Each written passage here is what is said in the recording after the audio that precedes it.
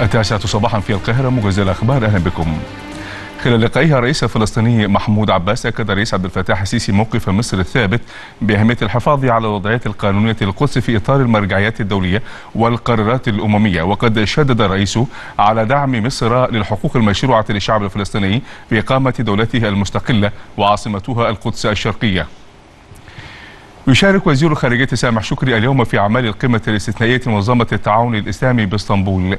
من المقرر أن تناقش القمة تبعات القرار الأمريكي بالاعتراف بالقدس عاصمة إسرائيل. ويستعرض شكري في القمة الموقف المصري الرافض للقرار ولأية آثار مترتبة عليه ومحصلة الاتصالات التي قامت بها مصر للحد من التبعات السلبية لهذا القرار.